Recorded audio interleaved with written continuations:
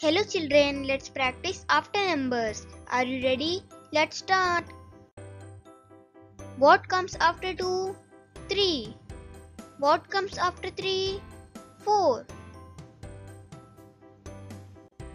What comes after 5? 6. What comes after 6? 7. What comes after 1? 2.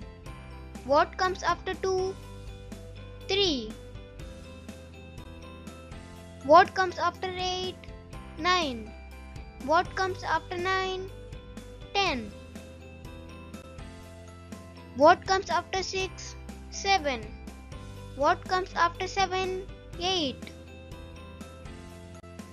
What comes after 4? 5. What comes after 5? 6. What comes after 3? 4. What comes after 4? 5. What comes after 7? 8. What comes after 8?